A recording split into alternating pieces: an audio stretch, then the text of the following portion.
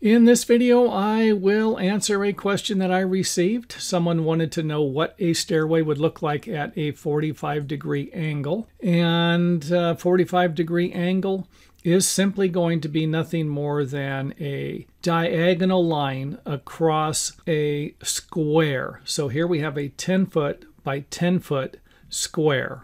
And of course, here is our diagonal line. So 45 degree angle, just going to be a diagonal line connecting the corners of a square, not a rectangle. A square is something with equal sides and 90 degree angles for every corner. So a rectangle would be something if you had a five foot side, and then this one here would be eight foot different uh, sides. So it's a square, and 45 degree angle is going to be at both ends.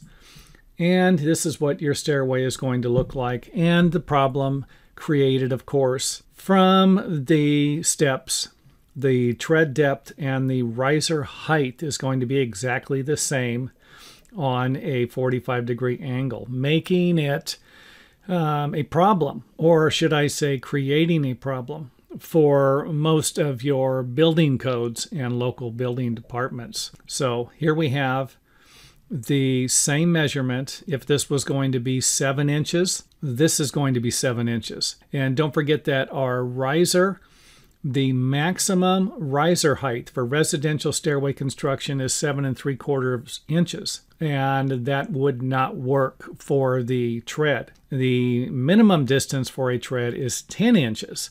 And that probably won't make the building inspector happy. So again, if you're just looking for a means to get from one place to another, you don't have a choice.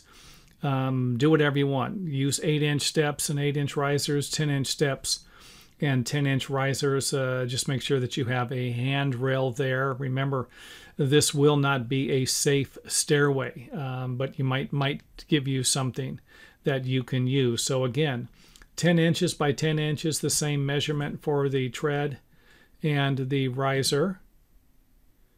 And another diagram, I'm going to leave the little lines in here. I just uh, divided this up and divided this up, and here we have the lines for our stair stringer, just to give you an idea.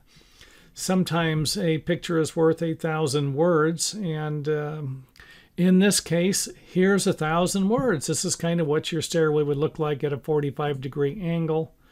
The depth of the tread, depth of the tread and the height of the riser will be exactly the same. So 45 degree angle won't work.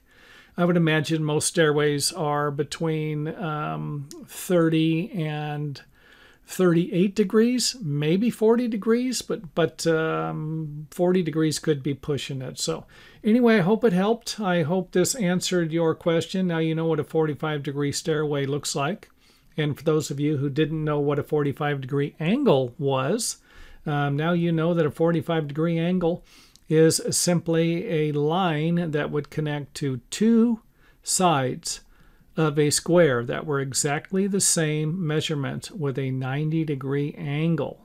Um, so a square cut in half diagonally is a 45 degree angle and will not make most building inspectors happy.